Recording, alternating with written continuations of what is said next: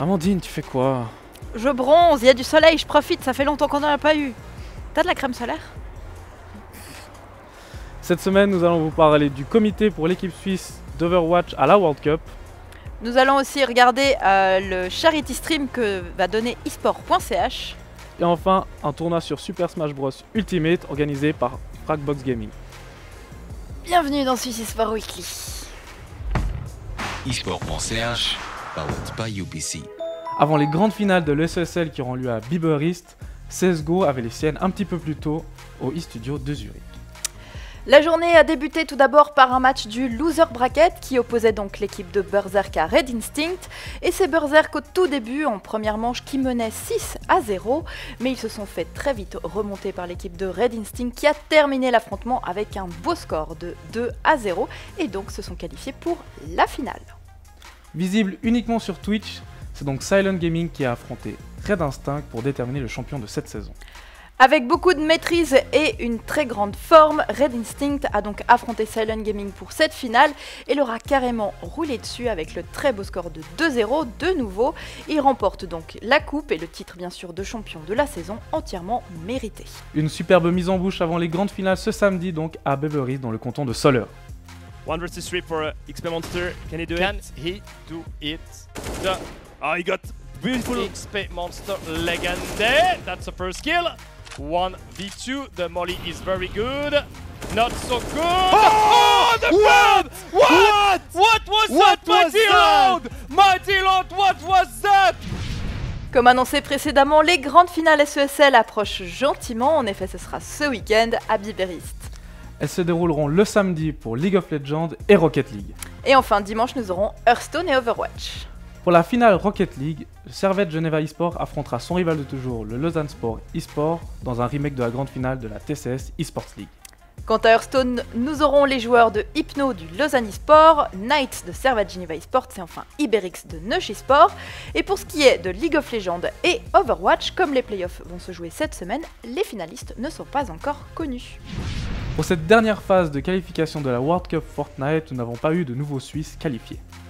Malheureusement, mais par contre, nous avons une très bonne nouvelle puisque un joueur a échappé à notre attention. Nous ne le connaissions pas, il s'agit de 4ZR qui est un joueur suisse qui est qualifié pour New York et qui donc ira aux côtés de Kingstar Airwax et enfin Issa défendre nos couleurs. Il fait partie de la structure Bastille Legacy. Ça nous fait 4 représentants suisses à ces World Cup Fortnite, c'est peut-être peu, mais avec un très beau niveau.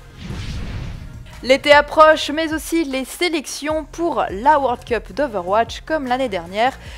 En cette période, nous connaissons déjà le comité qui vient juste d'être élu. Et comme General Manager, nous avons Sharper, en tant que coach, nous avons Luft, et enfin, comme Community Lead, nous avons Be Frozen. Les tryouts, quant à eux, ont commencé ce 20 juin dernier, se termineront le 13 juillet, date à laquelle nous connaîtrons les joueurs qui composeront la line-up qui ira défendre nos couleurs aux États-Unis. Les phases de poule commenceront le 1er novembre pendant la BlitzCon. Comme vous l'avez peut-être remarqué sur notre site en Suisse allemand, nous refaisons un live de 24 heures. Je serai accompagné des principaux Steffi, Reto ou encore Nathan, toute l'équipe des e-studios. Giulio ne pourra malheureusement pas être présent et il y aura aussi des invités qui se joindront à nous et tout ça bien sûr pour la bonne cause. Vous l'avez compris, esport.ch va faire un don caritatif tout au long des 24 heures ils seront accompagnés des personnalités du jeu vidéo suisse. On vous donne donc rendez-vous à partir du vendredi 12 juillet à 14h tapante sur la chaîne Twitch de esport.ch. Pour la bonne cause, venez nous aider, faites des dons ou encore venez juste participer dans le chat et ça sera bien sûr jusqu'au samedi même heure 14h. Comme nous l'annoncions la semaine passée dans les résultats, le joueur du Lausanne Sport eSport Hypno a terminé 5ème au Master Tour de Las Vegas. Ce classement lui a valu le prix de 16 000 dollars, mais aussi ses résultats lui ont permis d'accéder au troisième Master Tour qui aura lieu à Bucarest les 18, du 18 au 20 octobre. Surtout, la deuxième et la prochaine étape l'emmènera à Séoul en Corée du Sud du 16 au 18 août. À Hypno gravit les échelons de plus en plus vite. On espère pour lui que les résultats seront au rendez-vous prochainement et qui lui permettront peut-être, on l'espère, d'accéder au Grand Master Tour. Les dates pour les différentes haltes que fera League of Legends sur sa World Cup 2019 ont enfin été révélées. 8 équipes se qualifieront pour les quarts et les demi-finales qui auront lieu à Madrid en Espagne. Les dates pour ces quarts de finale donc seront le 26 et 27 octobre et demi-finale les 2 et 3 novembre. La grande finale de ces championnats du monde 2019 auront lieu à Paris, dans l'Accor Hotel Arena. Et ça sera le 10 novembre, mais pour le moment, les billets ne sont pas encore en vente. Et c'est reparti pour un tournoi Super Smash Bros Ultimate organisé par Fragbox Gaming. La compétition prendra place le samedi 29 juin au Casino de Genève dans un cadre de rêve. L'entrée est à 20 francs et commencera le matin. Pour toute autre information, je vous laisse vous rendre sur le site fragboxgaming.gg. Pour terminer ces titres, on va se tourner maintenant du côté de Genève avec une nouvelle structure encore qui vient de pousser, qui fait beaucoup parler d'elle en ce moment sur Twitter. Effectivement, la team BDS eSport fait parler d'elle avec son équipe Six qui a passé plusieurs phases de qualification pour le major de Riley. Il est à noter aussi qu'elle applique un joueur suisse bien connu, Dimitri Delangenot Panix. De plus, en ce moment, ils font plusieurs annonces comme celle d'une prochaine gaming house qui prendrait place à Genève même. On se réjouit de voir un petit peu ce que ça va donner. Pour l'instant, c'est plutôt bon signe. Et maintenant, comme chaque semaine, nous allons passer aux résultats. On commence cette rubrique avec euh, les résultats du The Reset qu'on a malheureusement switché la semaine dernière et on s'en excuse. Et on va parler donc des vainqueurs sur les différents tournois. Sur Smash Bros Ultimate, il y a eu trois formes de tournoi. Le 1v1 qui a été remporté par l'un des meilleurs joueurs au monde qui est français. Il s'agit de Alex Yao qui a joué en finale contre le joueur Destiny de Mindsanity. La version 2v2 a, été remportée quant à elle par le joueur Radiance de chez euh, UGS eSport qui joue avec Zudenka de chez Helvet. Et la version mêlée, il s'agit du joueur Kone qui a gagné la finale contre Jaraidin.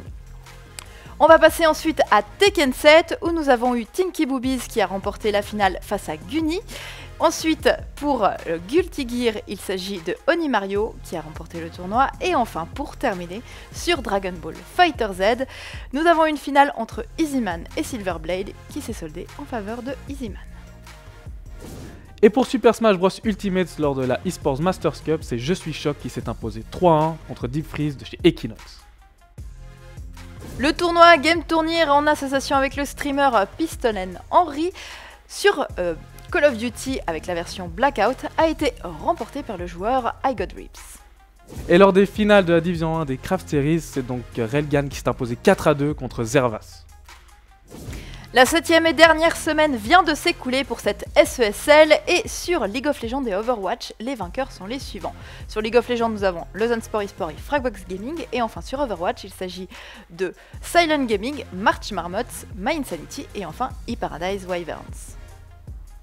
Le Red Bull Player One sur League of Legends en 1v1 a été remporté par Luna euh, face à Golden God.